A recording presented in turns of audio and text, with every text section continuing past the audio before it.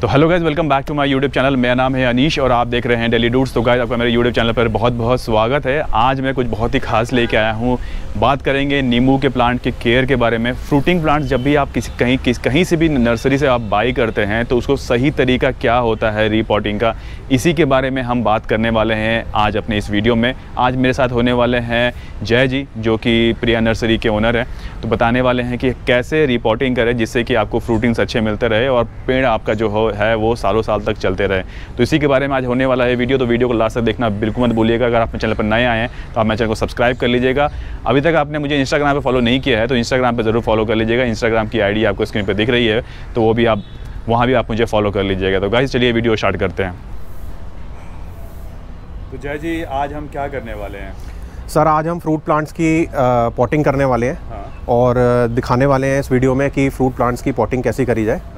अच्छा। और उसमें क्या क्या चीज़ें आप डाल सकते हो? ठीक है। और क्या राइट तरीका है? कितना नीचे लगाना है?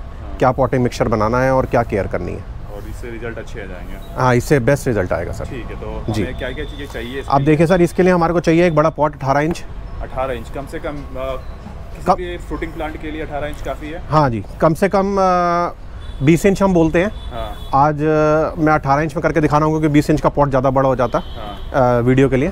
तो 18 इंच में मैं करके दिखा रहा हूँ। आप ऐसा भी कर सकते हैं कि आप साल दो साल के लिए छोटा छोटे पॉट में लगा दीजिए। हाँ। And then maybe after couple of years you will shift it you can shift it in bigger pot ठीक है। तो आज हम 18 इंच का गमला लिया है। हाँ। इसमें हमें मेक श्योर करना है कि नीचे हमने इसको होल्स कर लिए हैं। हाँ। हमें आउटलेट के लिए पानी का आउटलेट अच्छा रहे हाँ। ड्रेनेज प्रॉपर रहे इसलिए हमने देखिए इसमें काफ़ी सारे होल्स कर लिए हैं ठीक है। कि पानी ब्लॉकेज कहीं ना हो। ओके हाँ ये ठीक है सर उसके बाद हमारे को लेने हैं ये टूटे हुए पत्थर। हाँ चाहे गमले के टूटे हुए हों या कोई भी पत्थर हो हाँ हाँ। बेसिकली इसको हम सबसे नीचे डालते हैं ताकि पानी की निकासी होती रहे। ठीक है। तो ये हम लास्ट में सबसे पहले इसको डालेंगे। ओके उसके बाद ये हमने लिया सर गार्डन सॉइल इसको हमने थोड़ा सा छान लिया है।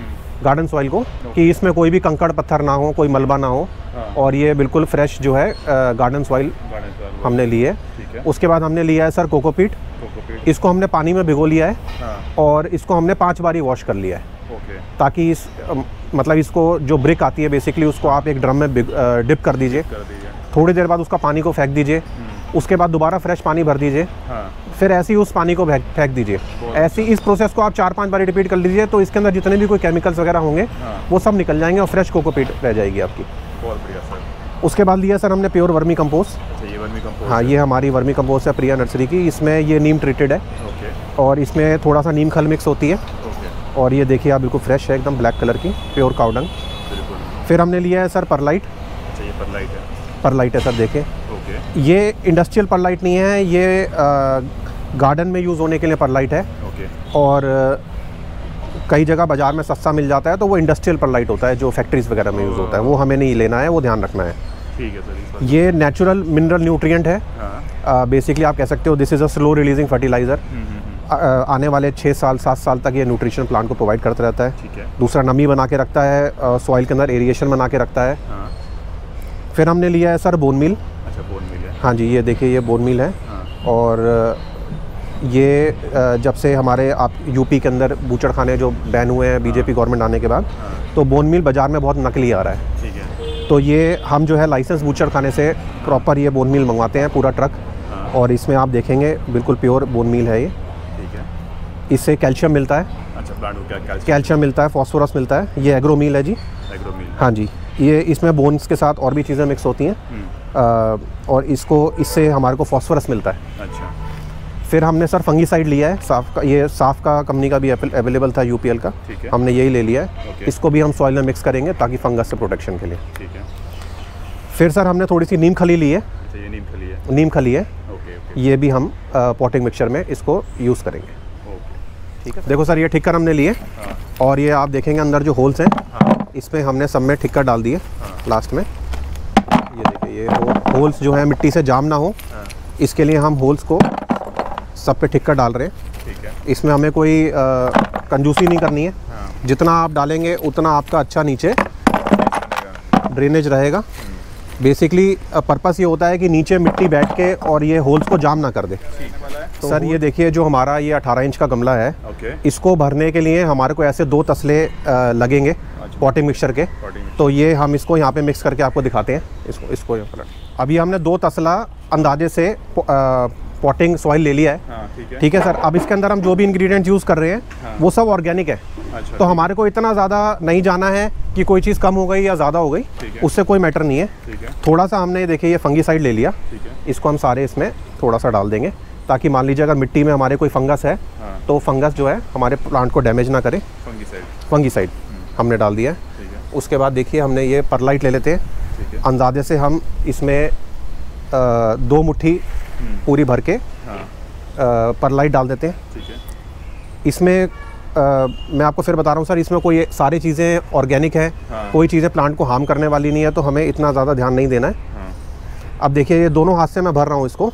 ये वर्मी कंपोस्ट ये है वर्मी कंपोस्ट ठीक है ना? हाँ। ये हम इसको खूब सारा डालेंगे।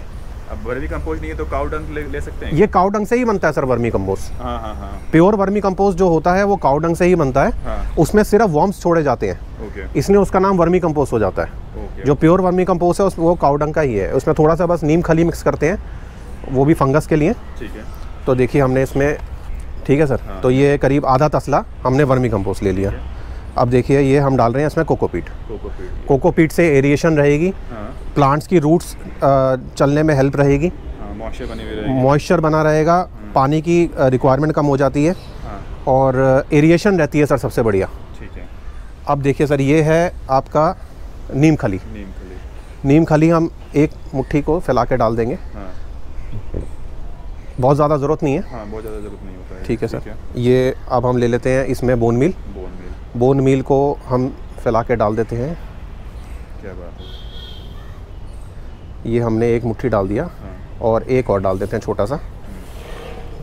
खाद में बस ये देखना है सर जो भी आप फर्टिलाइज़र जब भी डालें हाँ। तो उसमें देख लें कि एग्रोमील है ये। दिया। कि हमें देखना है कि एकदम से हम बहुत ज़्यादा खाद ना डालें चाहे उसकी हम क्वांटिटी कम रख के फ्रीक्वेंटली डालते रहेंगे तो भी चलेगा। तो भी चलेगा। ये देखिए सर इसको ऐसे अच्छी तरह आपने सब मिक्स कर लेना है। हाँ। मेक श्योर कि सब चीज़ें प्रॉपरली मिक्स हो गई हैं। ठीक है। ना जी? ये देखिए ये जो बड़े बड़े आपके मिट्टी के पीसेज हैं हाँ। इसको हाथ से तोड़ लिया करें मिक्स करते टाइम तो ये साइड्स में आ जाते हैं इनको सब आपने हाथ से तोड़ लिया ये मिक्स हो गया। अब इसको हम अ, इस अब हा इसका हाफ़ मिक्सचर हम पॉट में भरेंगे। हाफ़ मिक्सचर ही भरेंगे। हाफ़ मिक्सचर भरेंगे। उसके बाद प्लांट लगाएँगे। बस देखिए सर ये हाफ़ भर गया है। हाँ। अब इसको हम यहाँ रोक देंगे। हाँ। अब इसमें प्लांट लगाएँगे हम। प्लांट लगाएँगे। नींबू का प्लांट हम लगा रहे हैं आज। अच्छा। मान लीजिए आप गर्मियों में कर रहे हैं तो फिर आपने इसको एज इट इज़ रख देना है उसमें। हाँ। इसको ज़्यादा छेड़ना नहीं है प्लांट को। हाँ। अभी हम इसकी जो रूट्स हैं उससे आसपास से मिट्टी अलग कर लेंगे ऐसे मार के। अब ये हमने डाल दिया इसको इसमें नीचे। अब देखिए ये हमने थोड़ा देख लेना है कि इसकी हाइट हमें हाँ। ज़्यादा नीचे ना हो ज़्यादा ऊपर ना हो हाँ। ये हमारा पॉट का लेवल है। तो हमने थोड़ा सा इससे नीचे ही रखना है ताकि हम इन फ्यूचर जो इसमें मैन्योर्स वगैरह डालेंगे हाँ। वो उसके लिए जगह हमें छोड़ के थोड़ी रखनी है। जी। ये देखिए सर इसको हमने ऊपर से करीब तीन इंच छोड़ दिया। हाँ। और अभी हम पानी डालेंगे तो थोड़ी सी और मिट्टी नीचे सेटल हो जाएगी। तो करीब हमने चार इंच जगह छोड़ देते हैं। है। अब ये देखिए ये हमारा हो गया प्लांटेशन मेक श्योर ये प्लांट सीधा है। इसको आप मिट्टी को दबा दीजिए। इसमें एक बारी पानी लगा दीजिए। हाँ। पानी लगा के इसको दो चार दिन पाँच दिन शेड में रख दीजिए हाँ। ताकि इसको इमिडिएटली धूप में रखने से शौक ना मिले। हाँ और उसके बाद जैसे आपको खुली धूप में निकालिए। जितनी धूप मिलेगी उतना अच्छा चलेगा। और पानी अ, का जो है वो आपको ध्यान रखना है कि ऑलरेडी ये मिट्टी को आपने देख लीजिए उंगली इंसर्ट करके। इतनी फिंगर अगर आपकी ड्राई रहती है हाँ। तो आपने इसमें पानी डालना है। अच्छा। बार बार गीले के अंदर आप पानी डालेंगे तो रूट रॉटिंग हो जाएगी। तो गाइज़ फ्रूटिंग प्लांट्स के ऊपर मैंने ऑलरेडी वीडियो बनाया हुआ है, करीबन 100 डिफरेंट तरह के फ्रूटिंग प्लांट्स अगर आपको बाई करना है तो आप प्रिया नर्सरी आ सकते हैं। अगर नहीं देखा है तो उसका लिंक मैं डिस्क्रिप्शन में भी दूँगा और आई बटन पे भी दूँगा तो वो जाके ज़रूर देख लीजिएगा। इतने सारे फ्रूटिंग प्लांट्स किसी भी और नर्सरीज़ में नहीं मिलते हैं। अगर बाई करना है तो आप विज़िट करके ये प्लांट्स बाई कर सकते हैं। तो गाइज़ ये रिपोर्टिंग की, का वीडियो आपको कैसा लगा? कमेंट करके ज़रूर बताइएगा। अगर पसंद आया तो प्लीज़ यहाँ तक देखा है तो एक लाइक करके ज़रूर जाइएगा। और फिर मिलते हैं बहुत ही जल्दी नेक्स्ट वीडियो में। तब तक के लिए टेक केयर नमस्कार।